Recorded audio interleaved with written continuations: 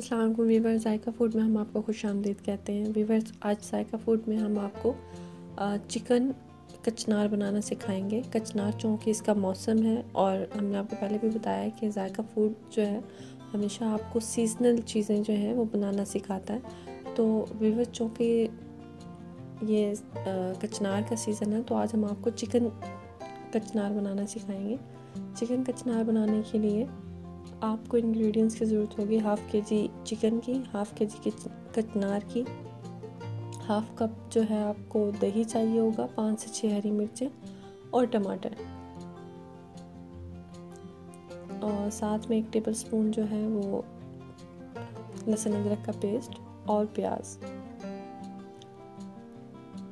बेमस chicken कचनार बनाने के लिए सबसे पहले बारीक कटे हुए प्याज जो हैं वो आप देगची में डालेंगे। और साथ ही लगभग आधा कप आधा गिलास पानी जो है वो ऐड करेंगे। साथ में ही लहसुन अदरक का पेस्ट जो एक टेबल स्पून है वो ऐड करेंगे। आधा किलो धुला हुआ चिकन,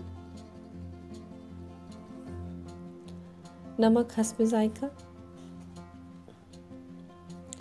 आधा टीस्पून हल्दी एक टीस्पून सुरख मिर्च,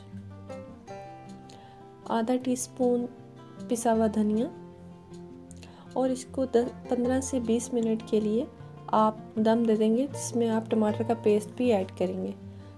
वीवर्स पंद्रह से बीस मिनट जो है चिकन को आप गलने देंगे, उसको अच्छे से पकने देंगे, इसके बाद जब आप इसको खोलेंगे। तो इसके अंदर मैंने आधा कप जो है दही ऐड किया है। व्यूवर्स आपके कमेंट्स जायका फ़ूड के लिए बहुत इंपॉर्टेंट होते हैं।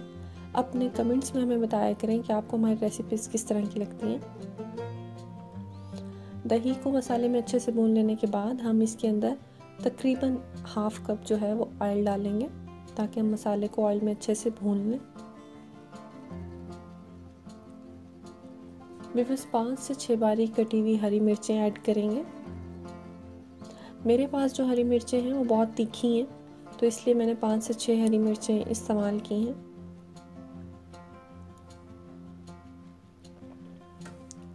इसको अच्छे से भुनने देंगे। वीवर जायका फूड्स हमेशा आपको सजेस्ट करता है कि खाना बनाते हुए फ्लेम हमेशा मीडियम रखें।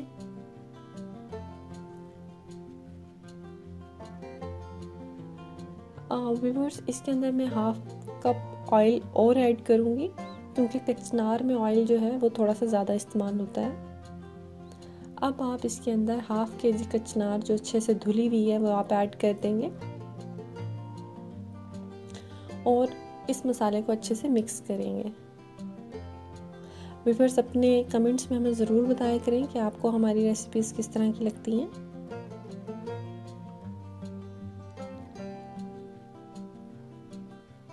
मसाले में कचनार को अच्छे से भून लेंगे। और इसको दोबारा से 15 से 20 मिनट का लो फ्लेम पर दम लगाएँगे। 15 से 20 मिनट गुजरने के बाद आप देख सकते हैं कि मज़ेदार कचनार जो है वो तैयार है। व्यूवर्स ये गजाइत से भरपूर है और बासानी घर पर तैयार हो सकती है। बहुत आ, कम वक्त में और कम पैसों में तो आप इसको ज़रूर ट्राई कीजिएगा और हमें अपने कमेंट्स में बताइएगा कि आपको हमारी ये रेसिपी किस तरह की लगी।